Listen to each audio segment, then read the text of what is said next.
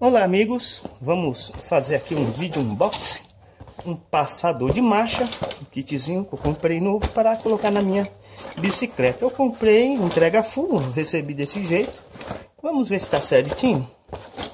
Então eu vou abrir por aqui, ó. Se tiver tudo certo, eu vou deixar o link na descrição do vídeo. Aí embaixo aí do vídeo aí vai estar o link de compra. Vocês clicam no link e já vai entrar direto no Mercado Livre, tá?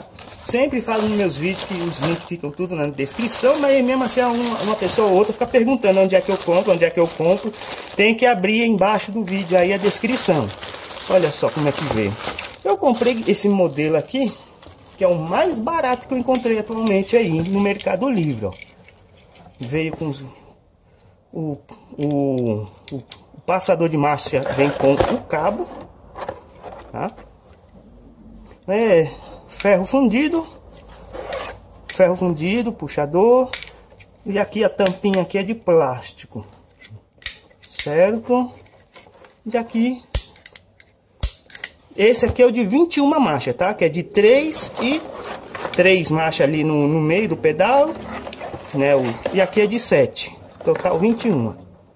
E aqui é sete marchas lá no, na roda traseira. Tá? Vamos ver aqui. Tudo ferro infundido. É bom porque assim evita quebrar, né? E eu vou montar aí e ver. Eu tava precisando descer daqui, que eu logo logo eu já explico aí no vídeo, tá? Mas o importante é que veio, ó, mostrar pra... Tentar mostrar todos os detalhes dos dois, ó. É igual, lado direito e esquerdo. E o passador já com um puxador de freio embutido, tá? Vende também somente o passador. Se você quiser manter seu manete de freio aí, você pode procurar aí no Mercado Livre aí, que também tem os modelos com somente o de rápido fire, né? Passagem, passagem rápida, né? Ó.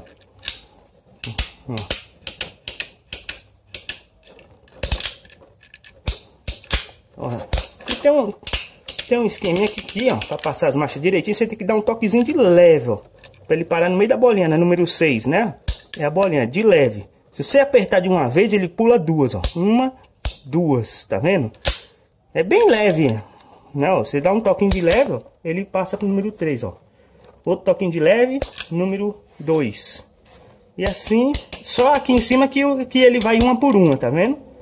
Ele vai uma por uma. Aqui embaixo você pode pular uma ou duas de uma vez só. Nossa, pulou foi três aqui, ó. Tá vendo? Esse é o esquema, ó. Tá no 7, ó. Vamos puxar e empurrar tudo, ó. Pulou quatro. Do 7 já foi direto pro 3, ó. Na alavanca, tá vendo? A, a, a queda, né, ó. Um. Olha aí. Então é bom pra quem precisa saber, já tem aí, ó. 7 velocidades. Beleza, eu vou montar na bike e ver como é que fica. Se, vou, se eu vou conseguir ajustar tudo direitinho isso aqui ou não, tá? Mas pelo preço disso aqui, tá ótimo. Então é isso aí, galera. Link vai estar tá na descrição aí embaixo do vídeo. Então, comecei a desmontar aqui, ó. Esse daqui é o passador que eu havia comprado anteriormente, muito tempo, um ano atrás, se eu não me engano, não me lembro quando foi que eu postei. O vídeo deles estão no unboxing dele tá aí no canal.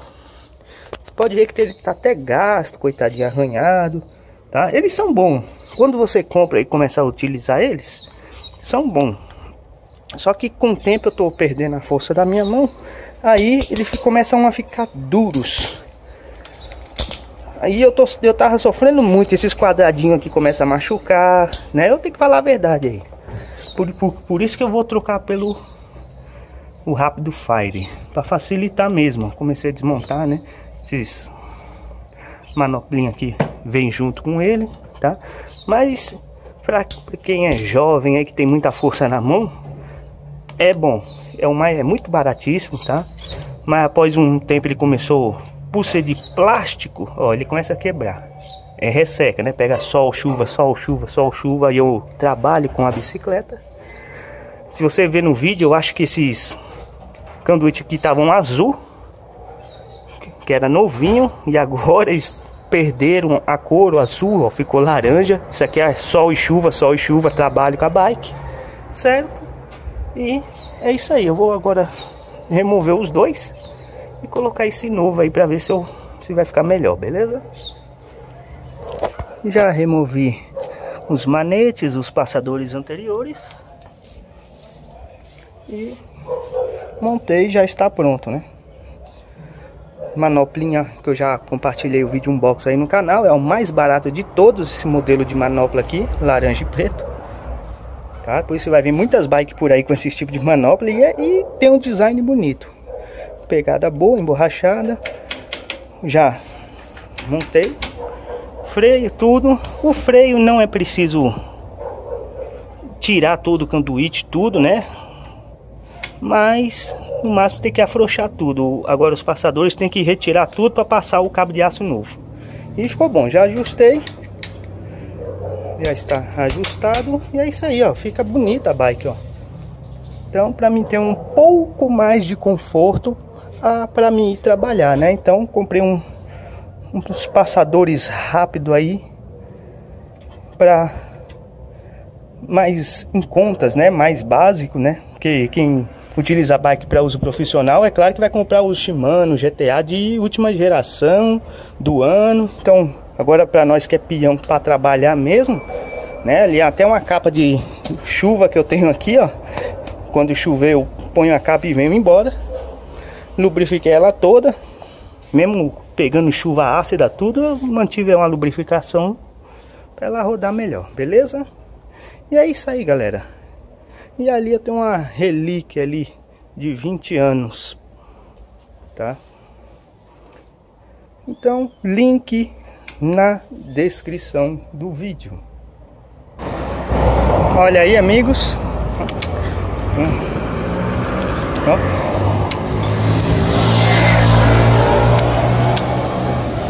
Só um toquezinho, ó, ele já vai passando as marchas recomendo aí 100%, mano. É outra coisa.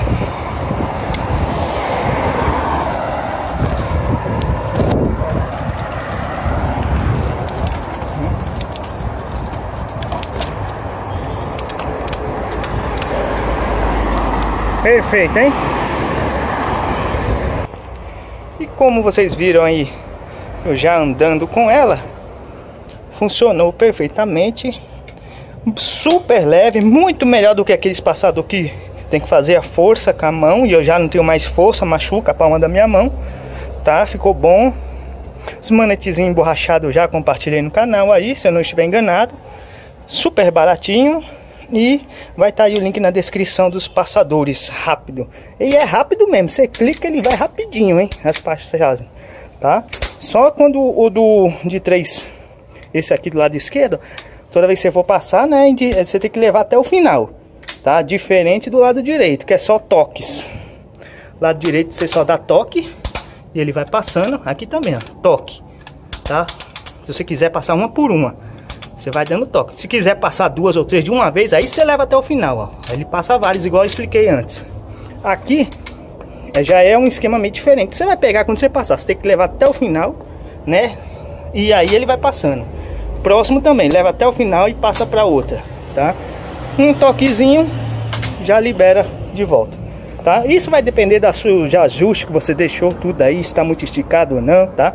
E para ficar leve, é claro que você tem que lubrificar todos os canduítes, tá? Provavelmente se pega a chuva, vai estar enferrujado por dentro, tá? Então passa aí um WD ou um desengripante nos canduítes e já era passem todos logo de uma vez, logo por garantia. E é isso aí. Tomando cuidado para não pegar nos discos e nem na pastilha. Senão você vai ter que descontaminar tudo. Tá bom? E tem vídeos tutoriais ensinando como descontaminar. Essa bike aqui é uma gambiarra. Eu comprei ela por 200 reais na OLX. Já veio com esses discos de freio na frente e atrás. Com essas marchas, com essas correntes aí que eu acho que não é nem o tamanho dela, tá? Essa corrente que tá nela, raspa tudo, pega aqui, pega ali mas para trabalhar tá me salvando, tá? Quebrou aqui o fitilho aqui, que ressecou, né, pelo tempo. Mas, ó, é uma gambiarra, já compartilhei. A bike não tem suporte para pinça de freio e aí tá aí a gambiarra aí, ó, com a abraçadeira e tudo, uma arruela para dar o ângulo aqui para não ficar torto, tá? E tô usando, tá me salvando aí, beleza? Porque antes o que tinha é aquele de borrachão aqui que fecha aqui, ó. E tava detonando o aro todinho.